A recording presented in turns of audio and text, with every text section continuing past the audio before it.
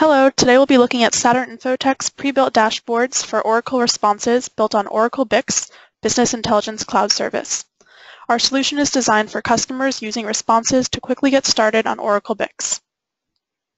First, a little bit about Saturn Infotech. We're BI and EPM cloud specialized Oracle Platinum partners.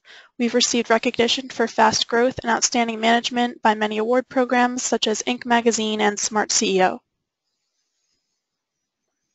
Not only do we provide BI and EPM implementation of software, but a full range of professional and support services, including managed services, performance optimizations, and upgrades. Now we'll take a look at the dashboard. First, we'll take a look at our Campaign Analytics tab. You'll see our main key performance indicators are displayed up top, budget, actual, cost, variance, percentage, total campaigns, and success rate. Clicking each KPI will bring you into a more detailed report. So if we click the budget number of 231,000, you can further analyze your budget by simply clicking the number. Now we'll go back into the Campaign Analytics tab, moving down reports for budget versus actual, campaigns by marketing program, campaigns by campaign type, and success rate by salesperson. You can also filter this data on the left-hand side using drop-downs for year, quarter, month, or region, or other marketing and campaign details. Also important to note is that all of the reports, KPIs, and data visualizations you see here are fully customizable. We can even change the look and feel of your reports without any technical turnover time. You can view any of these reports in a table or graph form, and every section of the report can be clicked to drill deeper as well as exported or printed into a format of your liking, such as PDF, Excel, or CSV. Next tab is Customer Analytics. Here we have a similar layout displaying the key performance indicators for customer information up top. Reports include customer value by their level of education, where the value is recognized by either net worth or revenue. You can see groupings of your customer audience demographics by age, race, generation, etc., and also customer satisfaction and participation. With the participation graph, you can filter the data by campaign.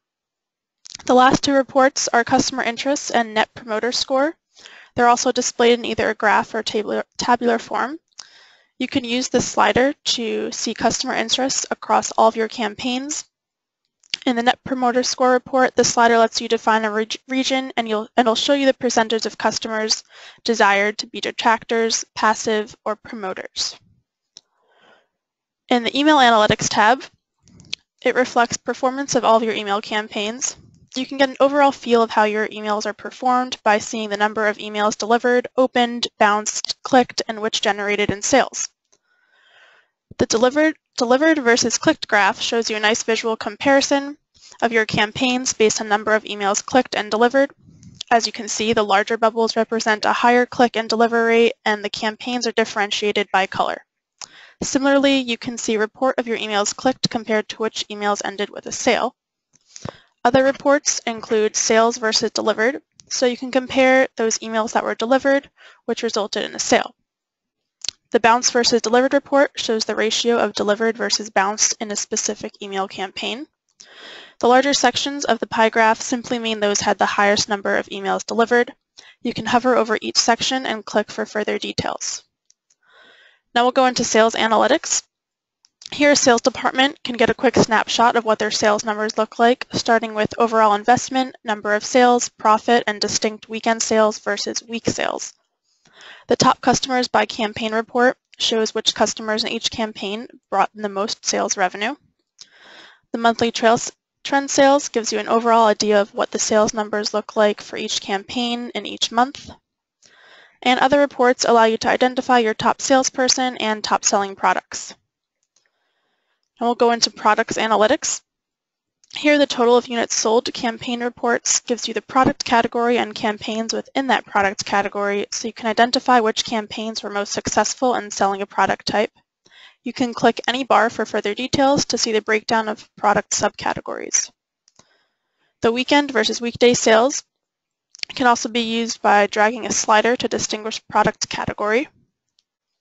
And the sales trend report breaks down sales by year, month, and product category with units sold and sales side by side. So now we'll do an example where we perform a multi-level, more granular drill down using the report for sales by product category, which indicates which roles within the family household are purchasing, such as husband, wife, female head, or male head. For instance, if we click on any color indicating that sales product category, we'll click on technology. It will bring you into a more detailed report of those subcategories.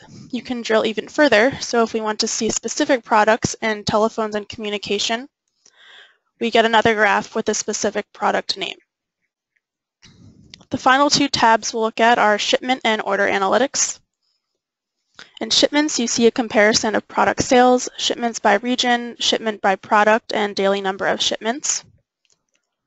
And Order Analytics will show you the order received during the week versus on the weekend, and a report for orders per campaign.